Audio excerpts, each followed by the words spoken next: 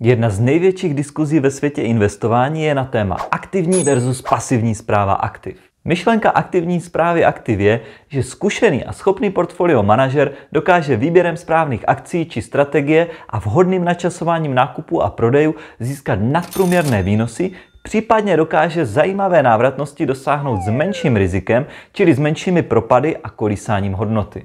Prakticky všechny podílové fondy nabízené u nás jsou aktivně zpravované, včetně těch penzijních.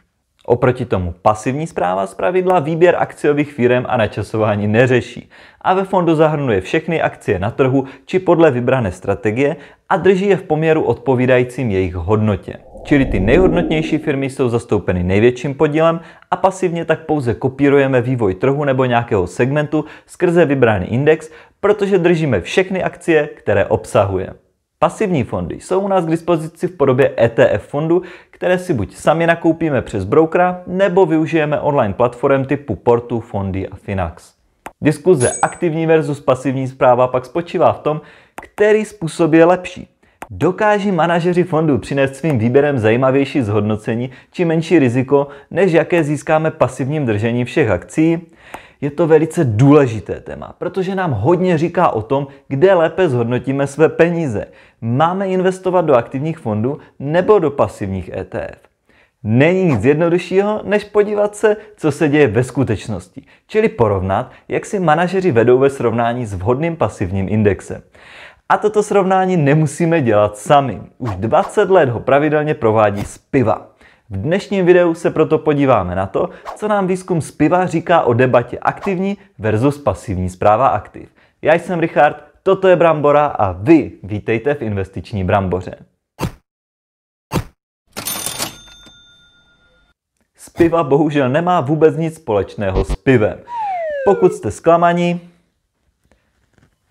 tady máte Radka.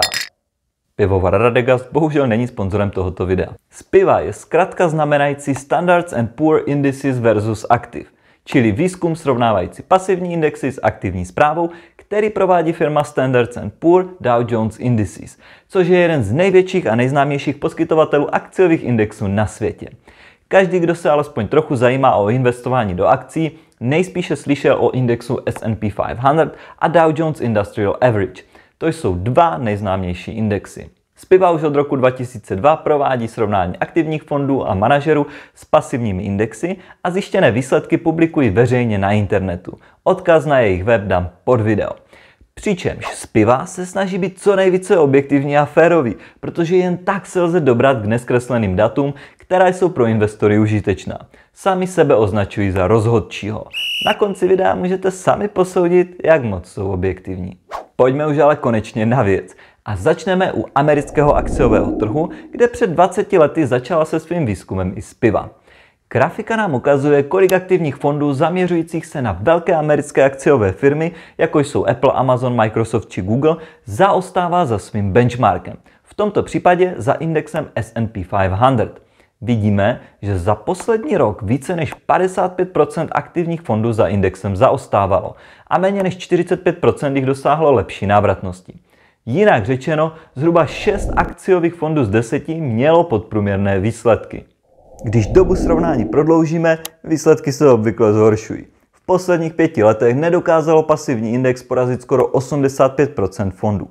Pouze 15% fondů mělo lepší návratnost než S&P 500. A v 15-letém období jsou výsledky srovnání pro aktivní fondy ještě horší.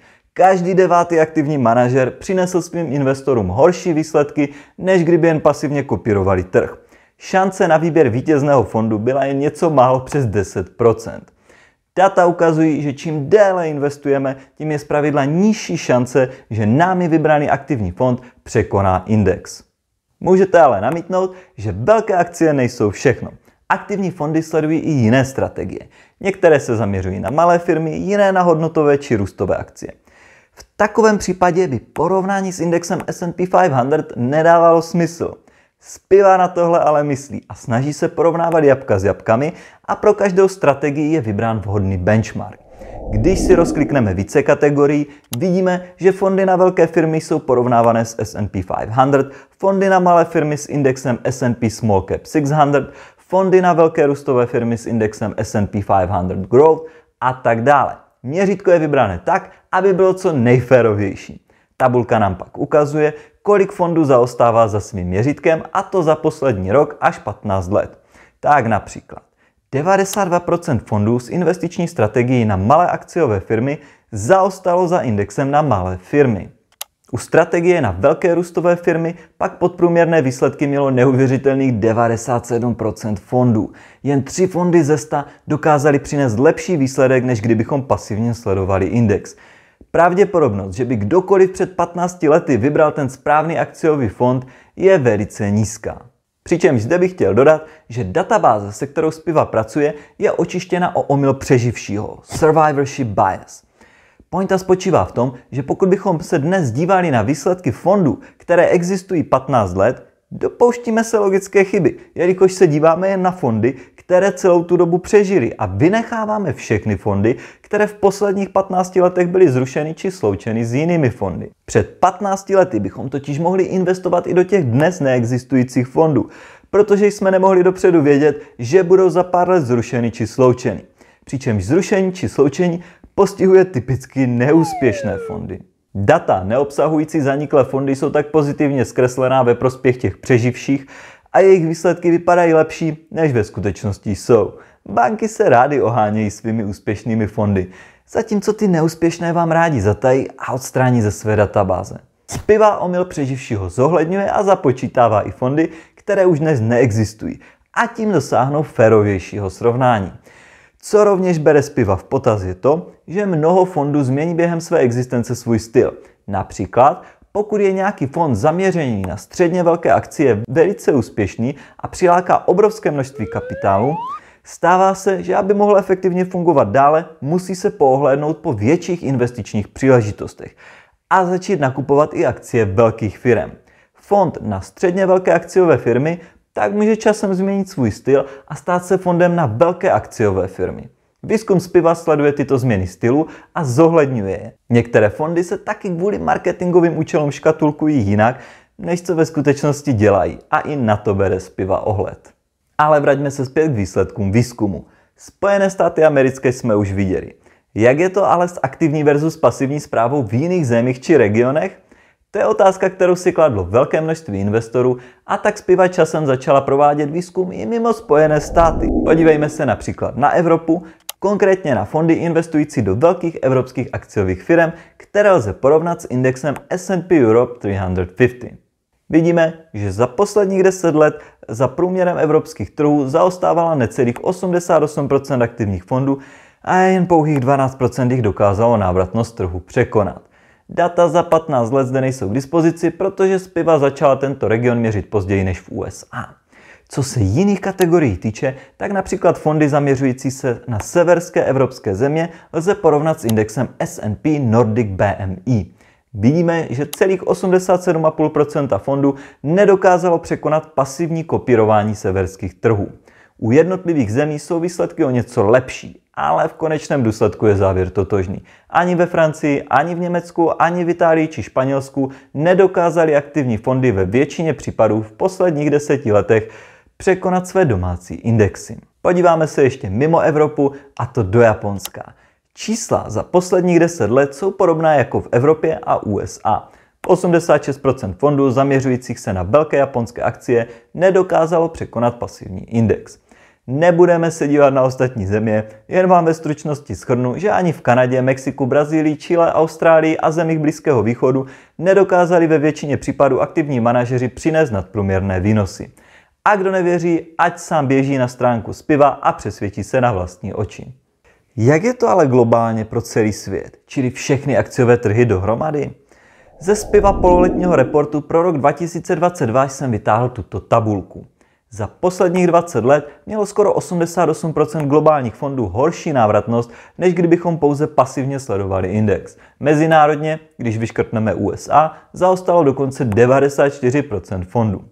A co rozvojové trhy? Často se tvrdí, že se jedná o velice specifické trhy, kde odborníci specializující se na danou oblast dokáží přinést hodnotu. No, podle výsledku z piva to tak rozhodně nevypadá. Skoro 96% fondů zaměřujících se na rozvojové země přineslo podprůměrné výnosy. To je horší výsledek než v USA a dalších vyspělých zemích. No jo, ale co ty fondy, které dokázaly porazit trh? Je jich sice málo, ale komu se je podařilo dopředu najít, ten na nich slušně vydělal. Ne? A výzkum z piva bohužel ukazuje, že tomu tak není. Fondy, které svůj benchmark porazili, ho v průměru překonali jenom o velice málo. Kdo si myslí, že by s těmito vítěznými fondy vydělal každý rok o vyšší jednotky či dokonce desítky procent navíc, byl by zklamaný. Pravděpodobnost, že vybereme správný fond je malá a i když se nám to podaří, tak odměna je rovněž malá. Navíc neexistuje žádný zaručený způsob, jak tyto vítězné fondy dopředu identifikovat.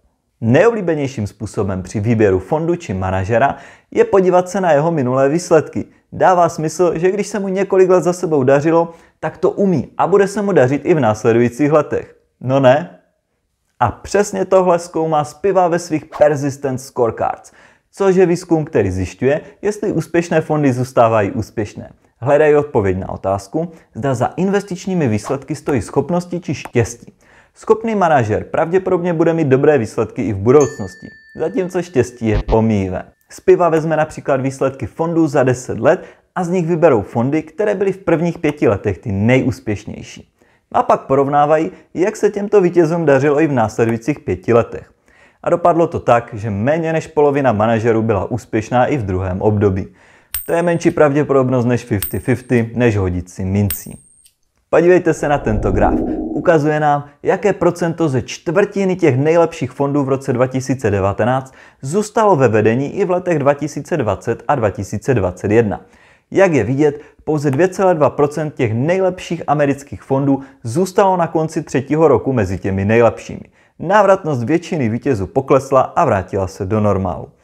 Podobných variací tohoto výzkumu provádí Spiva několik, a to i pro Evropu a další regiony a bez ohledu na třídu aktiv či strategii fondu má úspěšnost aktivních manažerů velice krátké trvání a jen velice málo fondů dokáže své konkurenty a benchmark porážet pravidelně.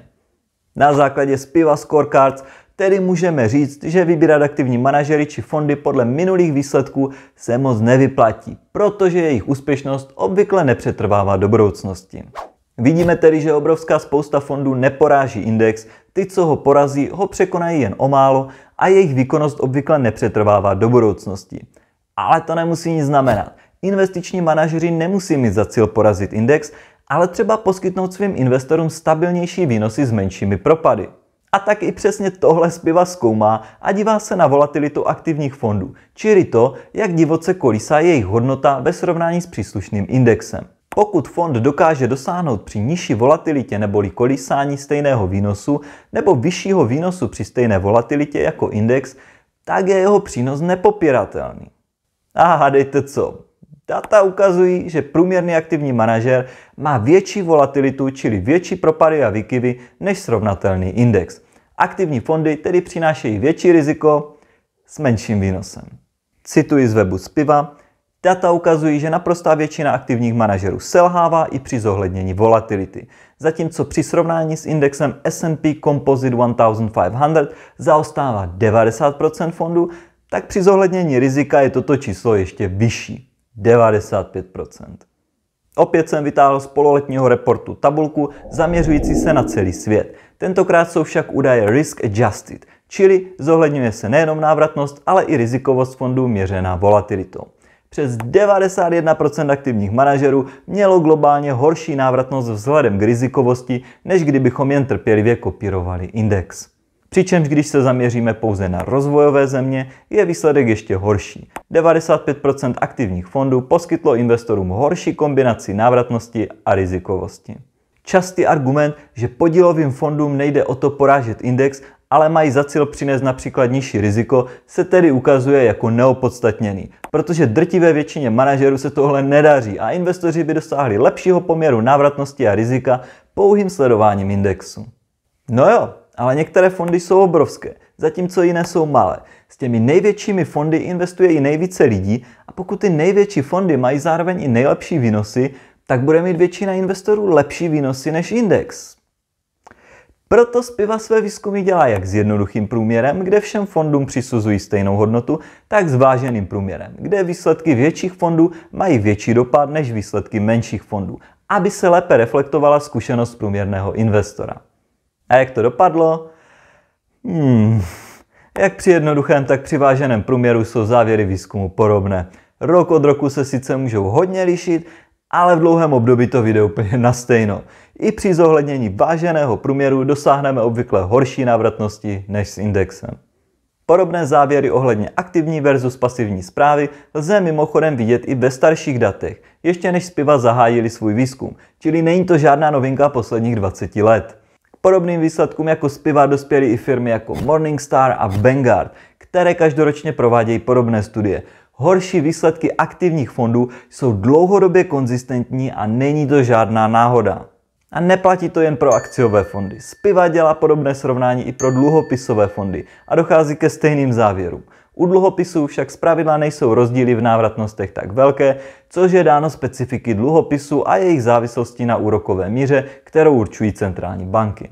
Zajímavá myšlenka může být mezi aktivními fondy diverzifikovat. Diverzifikace je přece jediný oběd zadarmo, jak říkají ekonomové.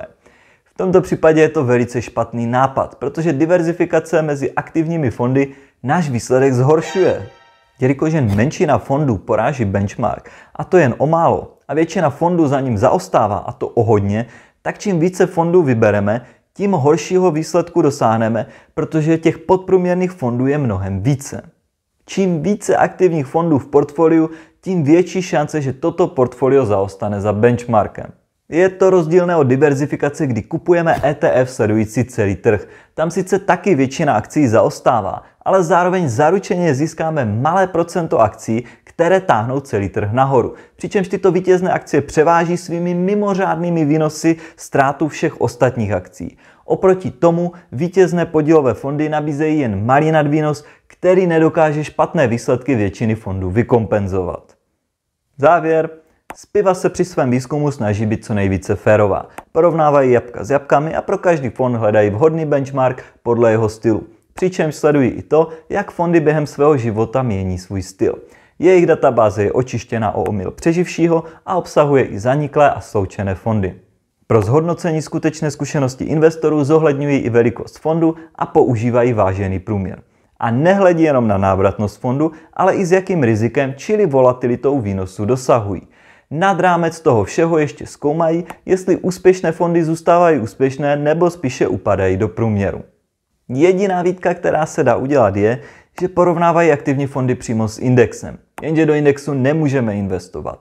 Investovat lze pouze do ETF fondů, které index kopírují. A tyto fondy mají náklady.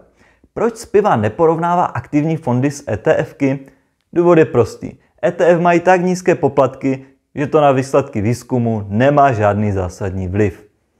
Pokud bych měl výsledky Spiva výzkumu shrnout do pár vět, Většina aktivních investorů zaostává za odpovídajícím benchmarkem a to většinu času a čím delší období, tím více zaostávají. A to i při zohlednění rizika. Manažeři, kteří porážejí benchmark, existují, ale je jich velice málo. Jejich nadvýnos není nějak velký a dopředu se prakticky nedají najít. A jejich úspěch obvykle nepřetrvává do budoucnosti. Proč se aktivním manažerům tak brutálně nedaří? Existují proto dost dobré důvody, přičemž těmi hlavními jsou poplatky a obrovská konkurence na trhu. Aktivně zpravované fondy jsou drahé na provoz, na zaměstnance, na analýzy, často obchodují, čímž jim vznikají transakční poplatky, daňové povinnosti a tratí na spreadu. Jestliže má ETF sledující index poplatky jen 0,2%, zatímco aktivní fond v tom lepším případě 11%, je to stále 0,8% rozdíl, který musí aktivní manažer dohnat. A ne jednou, ale opakovaně každý rok. A to je kurva těžké. A co se konkurence týče, tak zatímco před 50 či 60 lety akciovým trhům dominovali retailoví investoři, na kterých mohli profesionální manažeři s lepšími zkušenostmi a informacemi vydělat, dnes trhům dominují profici, kteří soupeří proti sobě navzájem často mají stejné vzdělání, mají stejnou certifikaci, čtou stejné firemní reporty a analyzují a pracují se stejnými informacemi, které jsou prakticky všem dostupné okamžitě. Jsou si prostě rovní. A když proti sobě postavíte dva podobně vzdělané a schopné manažery, o jejich výsledku rozhoduje mnohem více náhoda a štěstí než jejich schopnosti. Pro tuto epizodu jsem hodně čerpal z oficiální stránky z piva, kterou můžete navštívit přes odkaz pod videem a z podcastu Bogleheads on Investing, kde byl v 50. epizodě hostem Craig Lazara z firmy S&P Dow Jones Indices. Na úplný závěr bych dodal, že jsem ve spiva výzkumu nenašel žádnou zmínku o českých akciových fondech. Je možné, že mhm. české podílové fondy si vedou lépe než ty zahraniční? Nemyslím si to. Čeští manažeři nemají lepší vzdělání, nemají lepší analýzy, ani lepší informace či rychlejší přístup k ním než manažeři z ostatních zemí. Nepochybuju o tom, že jsou to neuvěřitelně schopní a vzdělaní lidé, ale konkurence je prostě příliš obrovská. Osobně mě nenapadá jediný důvod, proč by se české akciové fondy měly jakkoliv vymykat závěrům výzkumu z piva. Pokud chcete investovat do pasivních ETF fondů a z nejvyšší pravděpodobností tak dosáhnout lepší návratnosti a menšího rizika, ve své bance je nejspíše nenajdete. S výjimkou komerční banky, která nabízí ETF od Amundi, vám je nikde nenabídnou. Pokud se milím, dejte mi v komentářích vědět, která česká banka a jaká ETF nabízí. Pro ETF si tak budete muset zajít k online investičním platformám, přičemž největší a nejpopulárnější z nich je Portu, kde vyplníte dotazník, na jehož základě vám se staví portfolio na míru. Při fixaci na 15 let vám dají relativně přijatelný poplatek 0,6%, a při investování do akcí byste stejně o kratší době než 15 let ani neměli přemýšlet. A pokud si na to troufáte, můžete si otevřít účet u brokera a sami si nakupovat ETF. Já mám největší část svého portfolia u Degira, kde si můžete celou řadu ETF koupit bez transakčního poplatku. Odkaz jak na portu, tak na Degiro najdete dole pod videem. Pokud se vám líbí, co na YouTube dělám, budu rád za váš like, komentář a sdílení videa s lidmi, které by mohlo zajímat. A pokud si mých videí obzvlášť ceníte, budu velice vděčný za vaši finanční podporu na Buy Me a Coffee. Pokud se tam přidáte do členské sekce, získáte dřívější přístup k novým videím, celou řadu bonusových videí navíc a měsíční updaty mého portfolia. Díky moc za vaši přízeň a uvidíme se v příštím videu. Bye bye!